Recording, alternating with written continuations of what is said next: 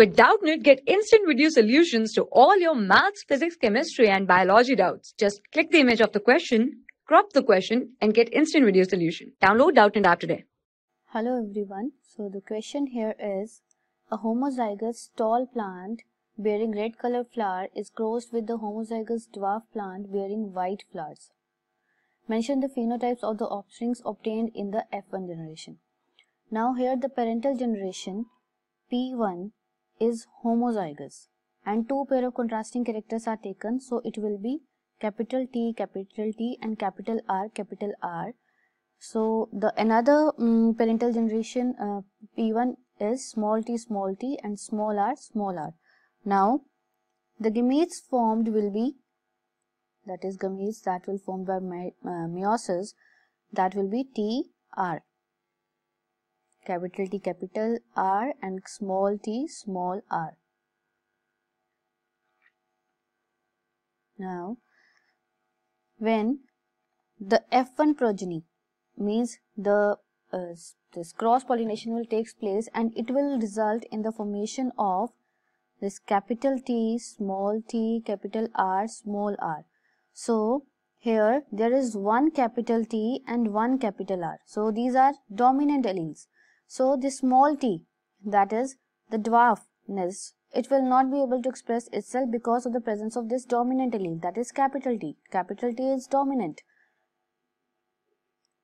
and similarly this capital R that is also dominant.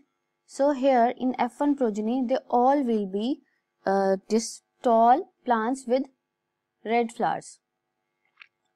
So F1 tall plants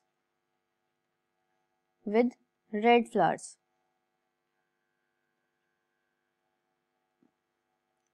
Now when this F1 progenies, when there is uh, it, they are self-pollinated, then the offsprings in the F2 generation will be that is when they are self-pollinated. So the F2 progeny will be before this gametes will be formed. So here the gametes formed will be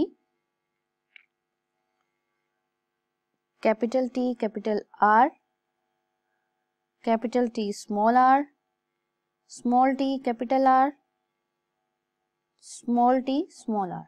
So we can write here capital T capital R capital T small r small t capital R small t small r. Similarly capital T capital R. So these are the gametes that are the combination of gametes that are possible and the progenies we will uh, observe by this Punnett scale. So this is the Punnett scale.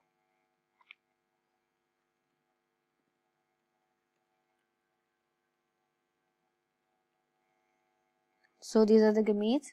Now self-pollination will takes place and what we will get this capital T, capital T and capital R, capital R, they will combine to form capital T, capital T, capital R, capital R.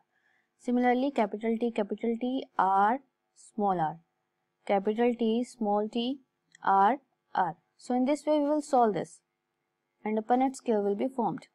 So here capital T capital T as both x on x or y axis capital T is present and capital R small r capital T capital T small r small r. Capital T small t capital R small r. Capital T small t small r small r. Capital T small t capital R capital R. Capital T small t capital R small r. This is capital T small t capital R small r. Capital T small t and these are small r small r.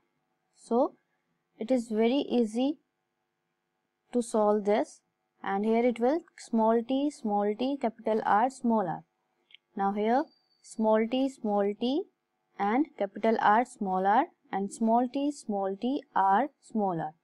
So we can observe here that these offsprings they have at least some have two uh, both the homozygous dominant forms but in this we can see there is one capital T one capital R one capital T one capital R So there are nine such progenies, nine such offsprings, which have one capital T and one capital R.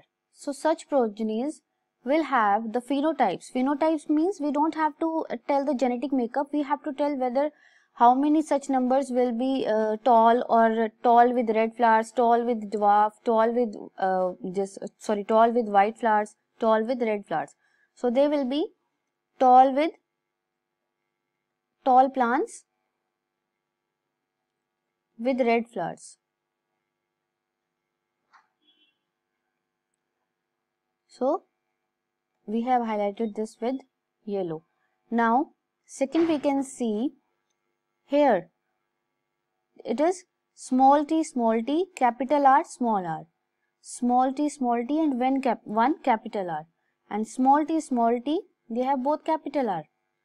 So this condition in which there is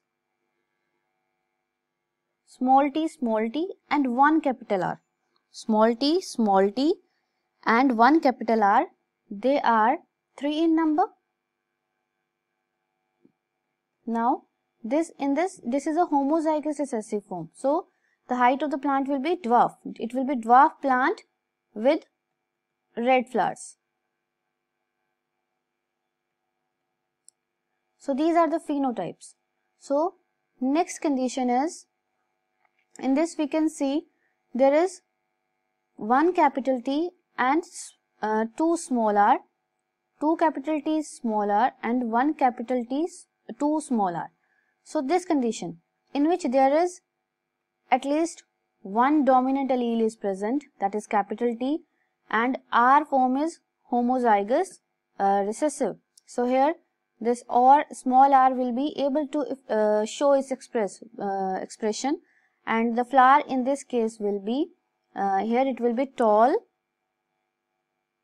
but with white flowers. So this is based on the law of independent assortment. And last one, this is small t, small r. These are also 3 in number and this is 1 in number. We can highlight it with pink one. So this, this is 1 in number and this progeny is homozygous recessive in both the characters. That is, the plant will be dwarf and with white flowers. So, these are the phenotypes of the offsprings that will be observed in the F2 generation. Dwarf red, tall white, dwarf white. Thank you. For class 6 to 12, IIT JEE and NEET level. Trusted by more than 5 crore students. Download Doubtnut App today.